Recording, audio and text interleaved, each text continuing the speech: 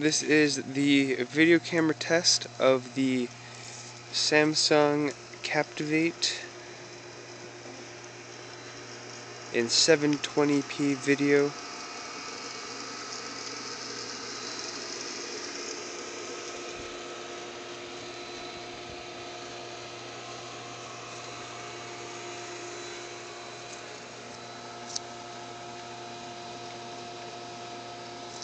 Again, Samsung Captivate, Samsung Galaxy S Captivate 720p video.